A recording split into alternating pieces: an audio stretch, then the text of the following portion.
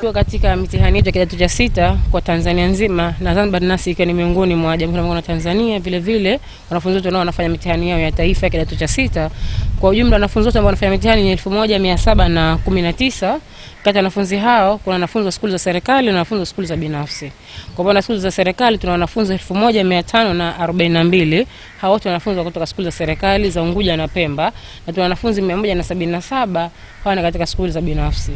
Kwa ujumla ni kwamba tokea nimeanza ziara yangu, tumeanza pale katika skuli ya Lumumba, tumeona kwamba mahudhurio ni mazuri sana, maki tasema ni asilimia mia moja.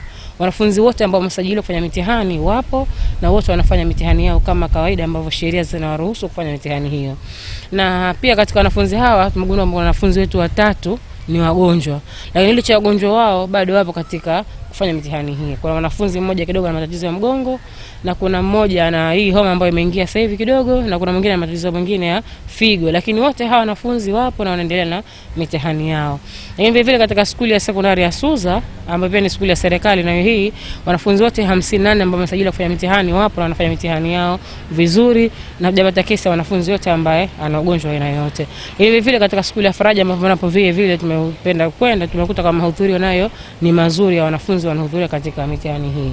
Na katika skuli yetu nyingine ya serikali ya Mpendae kuna wanafunzi watano hawa hawajasajiliwa moja kwa moja kufanya mitihani yao, na hawajasajiliwa kutokana na tabia ile ya utoro wa wanafunzi ambao walikuwa nayo.